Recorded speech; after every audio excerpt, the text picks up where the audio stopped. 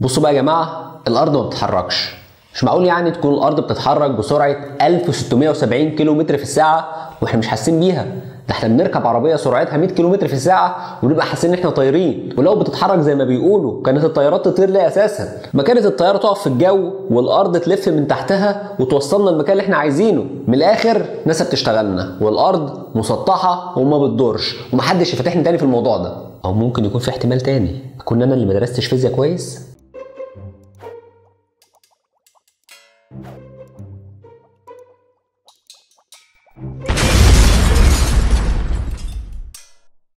السلام عليكم. الحلقة اللي فاتت أنا وعدتكم مش هجيب سيرة الرياضيات في السلسلة دي تاني وأنا فعلا عند وعدي.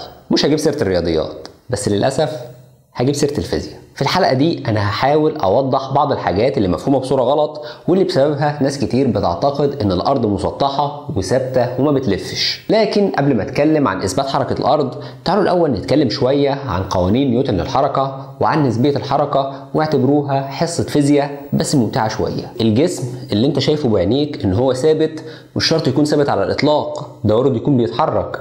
والجسم اللي انت شايفه بعينيك ان هو بيتحرك بطريقة معينة مش شرط تماما يكون ده نمط حركته الفعلي. انسى تماما مراقبة عينيك للحركة وشوية وهتعرف ليه. تعال نعرف الأول انت ليه ما بتحسش إن الأرض بتتحرك. نيوتن في قانون الأول بيقول يبقى الجسم الساكن ساكنا والمتحرك متحركا ما لم تؤثر عليه قوة غير متزنة تغير من حالته. بما يعني إن الجسم الساكن هيفضل ساكن إلى ما لا نهاية والجسم اللي بيتحرك هيفضل بيتحرك إلى ما لا نهاية مادام ما أثرتش عليه قوة. طب ولو أثرت عليه قوة يا عم نيوتن؟ قال لك لا دي بقى نعمل لها قانون لوحدها. قال لو في قوة غير متزنة أثرت على جسم هتغير من سرعته. لو كان ثابت هتخليه يتحرك ولو كان بيتحرك هتخليه سرعته تزيد. أو سرعته تقل على حسب اتجاه القوة. عملية التغير في السرعة دي بيسموها التسارع يعني التسارع بيحصل لما سرعتك بتتغير سواء بقى زادت أو قلت. على سبيل المثال لو أنت موجود على منصة متحركة بتتحرك بسرعة ثابتة. ركب عربية مثلا والعربية دي بتتحرك بسرعة ثابتة لأن كل القوى اللي بتأثر عليها متزنة الطريق هو هو نفس دوسة رجلك على البنزين مفيش أي حاجة بتتغير. صحيح العربية بتتحرك لكنك مش هتحس ابدا إن العربية بتتحرك لأن العربية سرعتها ثابتة بمعنى تاني إن ملهاش تسارع. التسارع بس هو اللي بيحسسك بتأثير القوة وهو اللي بيعرفك إنك أنت اللي بتتحرك. الحاجة الوحيدة اللي كانت مخلياك عارف إنك بتتحرك إنك شايف الشجر والبيوت والطريق نفسه بيتحرك ومخك مدرك كويس إن الحاجات دي ثابتة وما بتتحركش. ولو في احتمالية ولو بسيطة إن الشجر والطريق دول بيتحركوا كنت هتبقى في حيرة كبيرة جدا من أمرك. ده في حالة إن المنصة أو العربية اللي إحنا قلنا عليها بتتحرك بسرعة ثابتة. طب ولو مش بيتحرك بسرعة ثابتة؟ لا هنا بقى الوضع مختلف. لو جيت ضربت فرامل فجأة مثلا فده معناه إن في قوة جديدة غير متزنة أثرت على العربية وخلتها تغير من سرعتها تحديدا العربية قللت سرعتها بمعنى إن حصل تسارع بس في الاتجاه العكسي. ما دام حصل تسارع نتيجة لتأثير قوة فجسمك هيحس بالقوة دي وهيتنطر لقدام. النطرة دي معناها إنك كنت بتتحرك في الماضي بسرعة أكبر من السرعة اللي أنت بتتحركها دلوقتي. مش كنت ثابت زي ما أنت متوقع. وبالتالي جسمك بيحاول يحافظ على سرعته القديمة فبيطلع لقدام. فأنت كده أدركت إن أنت بتتحرك. نفس الفكرة بالظبط وأنت واقف على الأرض. أنت واقف حاسس إنك ثابت لكنك شايف الشمس والقمر والنجوم هم اللي بيتحركوا. وبتعتقد إن الأرض ثابتة لأنك مش حاسس بالتسارع لأن سرعتها ثابتة. التفسير ده حلو ومقنع جدا أنا عارف. بس يعني أنا ضحكت عليك في حتة صغيرة قد كده. وقلت لك إن الأرض سرعتها ثابتة. بس للأسف ده مش حقيقي. الأرض سرعتها مش ثابتة. كان لازم تبقى عارف إن السرعة كمية متجهة. يعني بتتحدد بمقدار وباتجاه. مش بمقدار بس. وحتى لو قيمه السرعة ثابتة وجيت غير اتجاهها فالسرعة كده اتغيرت. انت مش مذاكر كويس يا أستاذ. الأرض لو فعلا بتدور فحتى لو قيمة سرعتها ثابتة فهي بتغير اتجاهها كل لحظة. وده معناه إن السرعة بتتغير وإن الأرض بقى لها تسارع والمفروض تحس بالقوة اللي بتخلي الأرض تغير اتجاهها كل لحظة. وفكرة إنك ما تحسش إنها بتتحرك دي غير واردة. بس في سؤال أهم. إيه هي القوة دي أصلا؟ عشان نحس بيها. وبصراحة إجابة السؤال ده بتعتمد على مكانك في المدرجات. أو يعني أنت بتبص على القوة دي منين؟ اعتبر إن الأرض عبارة عن مرجحه بتدور والمرجحه دي متعلق فيها كورة عن طريق حبل. لو انت موجود جوه المرجحه هتشوف إن في قوة غير منطقية عمالة تزق الكورة بعيد عن مركز المرجحه والحبل مشدود عشان يمنع الكورة من إنها تطير. القوة دي في الحالة دي بيسموها القوة الطارده المركزية لأنها بتطرد الكورة بعيد عن مركز المرجحه إنما بقى لو أنت واقف بره المرجحه وبصيت على الكورة هتحس إن طبيعي جدا إن الكورة تتحرك مع المرجحه وإن الحبل ده لازم يكون مشدود عشان يأثر دايما على الكورة بقوة ناحية المركز عشان يخليها تغير من اتجاهها كل لحظة وتلف مع المرجحه في الحالة دي القوة اللي بتأثر على الكورة بيسموها القوة الجاذبة المركزية. يعني لو انت واقف جوه المرجحه هتحس ان في قوة بتأثر على الكورة وبتدفعها لبره ولو انت واقف بره المرجحه هتحس ان في قوة بتأثر على الكورة عشان تشدها لجوه. والقوة دي بيسموها بالقوة الوهمية أو ال fictitious forces لأنها بتتغير بمجرد ما غيرت المكان اللي بتبص منه عليهم. المهم يعني لو أنت واقف على الأرض اللي المفروض إنها بتدور فطبيعي تحس بقوة الطرد المركزي زي المرجحه بالظبط. وما دام الحاجات اللي موجودة على الأرض مش مربوطة بحبل زي المرجحه فطبيعي إن كل حاجة تطير في الجو. في مثال شهير دايما بيجي في فيديوهات الناس المؤمنة بالتسطح يجيب لك كرة تنس ويبلها مية ويلفها في الجو فتلاقي إن المية بتتنطر بره كرة التنس قال يعني إن البحار والمحيطات والحاجات دي المفروض إنها تتنطر بره الأرض زي ما بيحصل مع كرة التنس. وكلامهم على فكرة منطقي جدا ما دام مفيش حبل بيمسك الحاجات اللي موجودة على الأرض. لكن الفكرة هنا هو مين قال أصلا إن مفيش حبل؟ كل ذرة موجودة على الأرض مربوطة بحبل قوي جدا اسمه حبل الجاذبية. وتعالى أنا وانت نحسب الفرق ما بين قوة الطرد المركزي وقوة الجاذبية عشان نشوف مين فيهم أقوى ويقدر إنه يغلب التاني. لو جيت تحسب قوة الطرد المركزي اللي بتأثر على جسم كتلته 1 كيلو جرام موجودة عند خط الاستواء هتلاقي إنها بتساوي مربع سرعة الدوران مقسوم على نصف قطر المدار. سرعة دوران الأرض 1670 كيلومتر في الساعة يعني 460 متر في الثانية ومربعها 211500 هتقسمها على نصف قطر المدار اللي هو نصف قطر الأرض عند خط الاستواء اللي هو هيساوي 6 مليون و300 ألف متر. هيطلع لك إن القوة الطاردة المركزية بتساوي 3 من 100 نيوتن. في حين إن قوة الجذب اللي بتأثر على نفس الكتلة لو جيت تحسبها من قانون نيوتن الثاني هتلاقي إنها بتساوي الكتلة في تسارع الأرض اللي هو عجلة الجاذبية. وإحنا افترضنا إن الكتلة هتساوي 1 كيلو جرام وعجلة الجاذبية بتساوي 9.8 من عشرة متر على الثانية تربيع وبالتالي القوة هتساوي 9.8 من عشرة نيوتن. وبالتالي مفيش أي وجه مقارنة أساسا. قوة الطرد بتساوي 3 من 100 نيوتن في حين إن قوة الجذب بتساوي 9.8 من عشرة نيوتن. يعني قوة الجذب أكبر ب 326 مرة من قوة الطرد. وبالتالي مستحيل الحاجات تطير من على الأرض زي ما هما بيتصوروا. طب بلاش موضوع تحس ده. معقول تكون بتتحرك بسرعة 1670 كيلو متر في الساعة وأنا مش شايفها؟ معقول جدا. ولو بتتحرك بسرعة قد كده ألف مرة طول ما أنت موجود في الفريم بتاعها. ما دام أنت موجود على الأرض هتشوف إن كل حاجة حواليك هي اللي بتتحرك ما عدا الأرض. لكن لو سبت الأرض وطلعت الفضاء وبصيت على الأرض هتلاحظ إن الأرض بتتحرك بشكل طبيعي جدا. وبعدين الأرض مش كلها بتتحرك بسرعة 1670 كيلومتر. الأرض عبارة عن كورة بتتحرك في الفضاء وبالتالي كل دايرة عرض لها سرعة مختلفة عن التانية. الأرض بتلف لفة واحدة في اليوم أو كل 24 ساعة.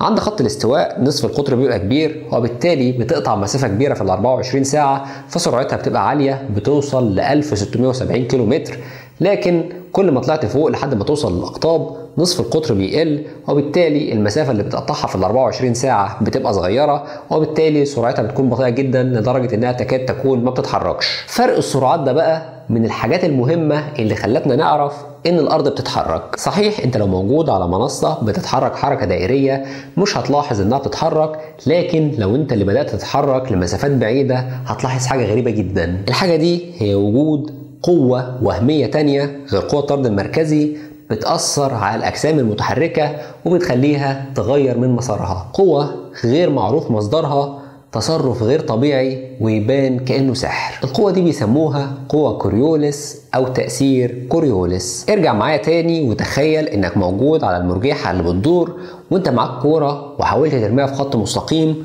هتلاحظ إن الكورة بتاخد مسار منحني. حاول تاخد الكرة تاني وترميها بكل قوتك في خط مستقيم. هتلاحظ برضو إن الكرة دايما بتاخد مسار منحني وكأن في قوة سحرية بتأثر على الكرة وبتخليها تعدل من مسارها. اكبر بقى كده معايا وانزل شوية من على المرجحة وخلي حد تاني مكانك يركب المرجحة ويمسك الكرة ويحتفها في خط مستقيم. وانت بص عليه هتكتشف إن الكرة بتمشي في خط مستقيم بشكل طبيعي جدا ومفيش أي انحناء في مسارها. يعني وأنت جوه المرجيحة بتشوف الكورة بتتحرك في خط منحني وأنت بره المرجيحة بتشوف إن الكورة بتتحرك في خط مستقيم بشكل طبيعي جدا. التأثير ده بيسموه تأثير كوريوليس زي ما قلت قبل كده وده بينشأ عن طريق اختلاف السرعات. تفسير الكلام ده إيه وإزاي بنطبقه على الأرض؟ أنا هقول لك. لو عندك جسم بيتحرك من على خط الاستواء متجه للقطب الشمالي في خط مستقيم أثناء انطلاقه من على خط الاستواء فبجانب سرعته في الاتجاه الرأسي فهو برضه بيتحرك مع الأرض ناحية الشرق بنفس سرعتها يعني 1670 كيلو متر في الساعة. وإحنا قلنا إن سرعة دوران الأرض بتقل كل ما اتجهنا ناحية الأقطاب عشان نصف القطر بقى أصغر وبالتالي طول ما هو بيتجه ناحية القطب سرعة الأرض عمالة بتقل تحتيه ناحية الشرق لكنه لسه سرعته أعلى منها وبالتالي هيبان كأنه بيسبقها وهيتجه ناحية الشرق بسرعة أسرع وهيطلع مساره منحني. وده اللي بيخلي القناصة المحترفين يعملوا حسابهم لما يجوا ينشنوا المسافات بعيدة لأن الرصاصة اللي طالعة في خط مستقيم مش هتمشي في خط مستقيم دي هتاخد مسار منحني نتيجة لأنها هتمر بمناطق ذات سرعات مختلفة على الأرض. وده اللي بيخلي الطيارات بتعدل دايما من مسارها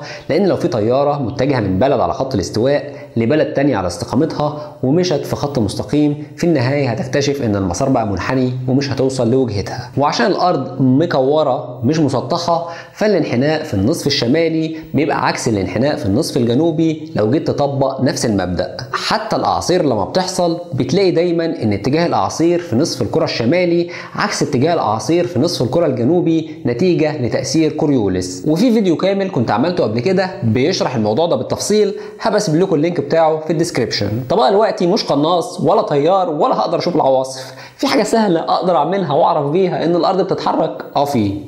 تعمل اللي عمله فوكو. عالم فرنساوي اسمه ليون فوكو. جاب بندول وحطه فوق القطب الشمالي للأرض وتابع حركته. وعشان البندول جسم بيتحرك على منصة متحركة اللي هي الأرض فأنا كمان واقف على الأرض فمش عارف إن الأرض بتتحرك لكني هلاحظ إن البندول محور دورانه عمال بيلف. طب ليه فوكو أصلا قرر إن هو يحط البندول فوق القطب الشمالي؟ ليو فوكو قرر إن هو يحط البندول فوق القطب الشمالي عشان يكون البندول بمثابة محور دوران الأرض. وبالتالي الأرض بتدور حوالين محورها دورة كل 24 ساعة فأنا هلاحظ إن البندول هو اللي محوره بيدور دورة كاملة كل 24 ساعة. واحد هيقول لي يا عم شرف مش في جاذبية؟ ليه البندول نفسه ما يلفش مع الأرض؟ هقول له دي بقى مشكلتك أنت ما أنت اللي مش مركز معايا في أول الفيديو. جسم البندول نفسه ده جسم ثابت على منصة متحركة وبالتالي انت والبندول والارض هتدوروا بنفس السرعة فانت مش هتلاحظ ان جسم البندول بيتحرك. لكن الجزء اللي بيتحرك في البندول هو اللي هتعتقد ان هو عمال يلف عكس اتجاه دوران الأرض.